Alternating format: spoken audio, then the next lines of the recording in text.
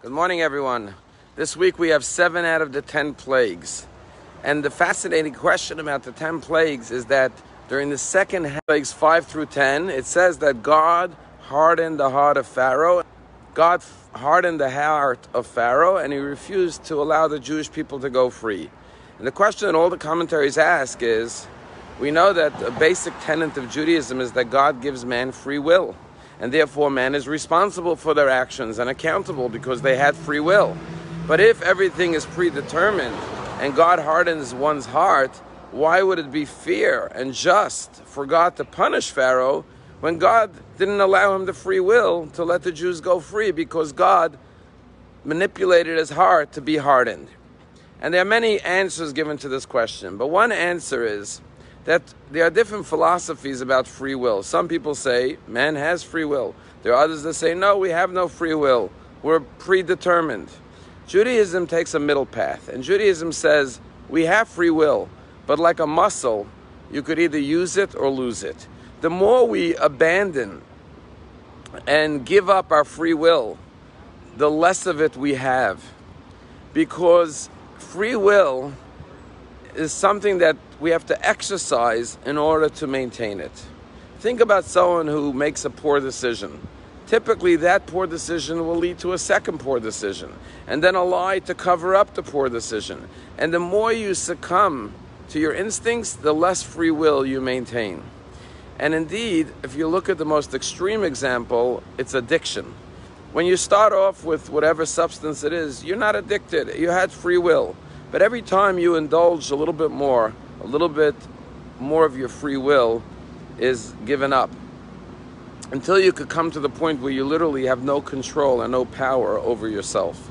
As the Talmud says it best, the Talmud says that at first the evil inclination comes to man and entraps him in a spider web.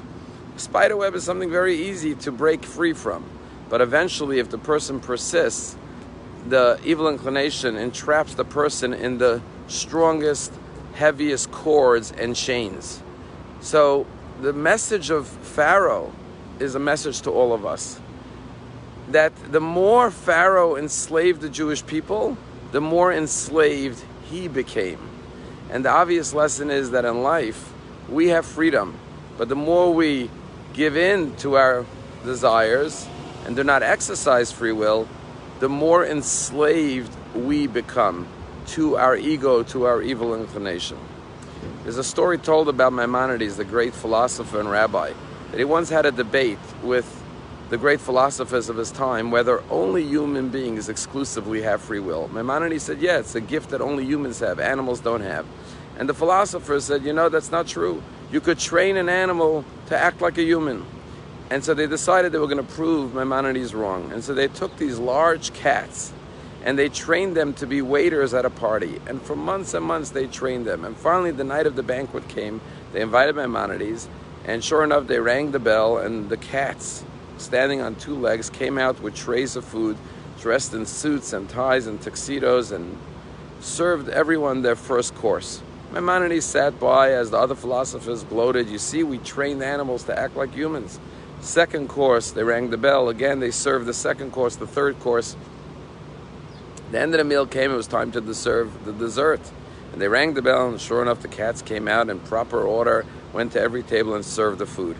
At that point, Maimonides took a little box out of his pocket and opened the box, and a little mouse jumped out of the box onto the floor. And as soon as the cats saw the mouse, they all dropped their trays, dashed down on the floor, and started to chase the mouse and obviously proved Maimonides' points that you could train animals to act, but to truly exercise free will, to go against your instincts, against your natural habits, to truly be a free person, that is a gift that God only granted to us human beings. But like any gift, we have to maintain it and preserve it by utilizing it properly.